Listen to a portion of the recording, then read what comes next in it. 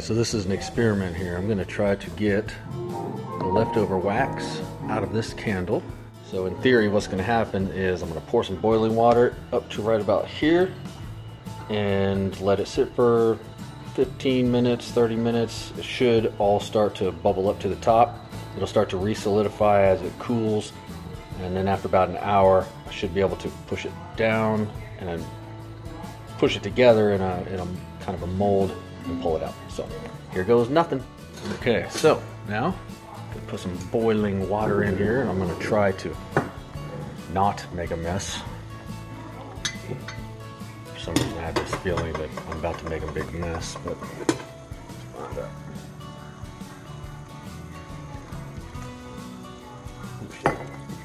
Yep, see I already hit my hand up there, made a mess. Very first thing I did.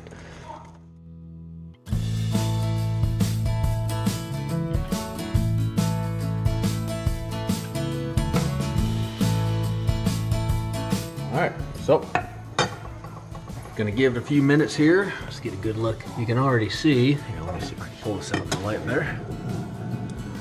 There we go. Spin around.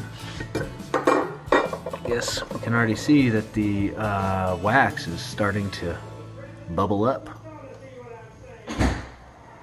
So, let's see if I can. Uh,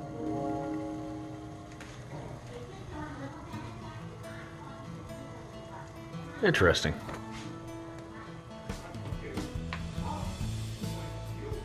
Okay. Check back in in a few minutes. Let you know how it looks. Okay, just another status check. It's been about five minutes now.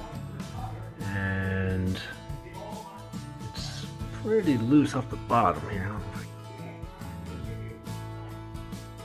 There's hardly any left down there. I might even get a stick or something and sort of poke around, see if I can loosen it up more but you can see it's forming at the top. So, give it a few more minutes here and check back in. Couldn't help myself. It's been about 30 seconds later. I've got this uh, stick here for shish kebabs. I'm just gonna poke her around in there and see what happens.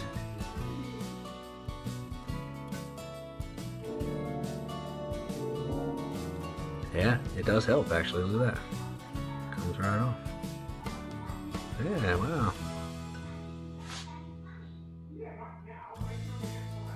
Wow, pretty cool. Just comes right off there.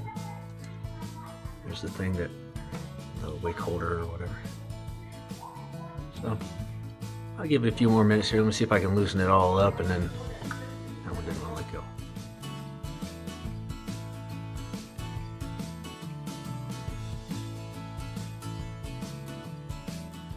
All right, so here's the end result. I uh, messed with the wax a little bit just to see if it would come out and it came out so easy that I didn't really get it on video. It just kind of plopped right out of there. So there it is. It came out. I rinsed it out and just kind of took a paper towel and wiped the rest. So there is the end result of pouring boiling water into a candle jar to get the wax out.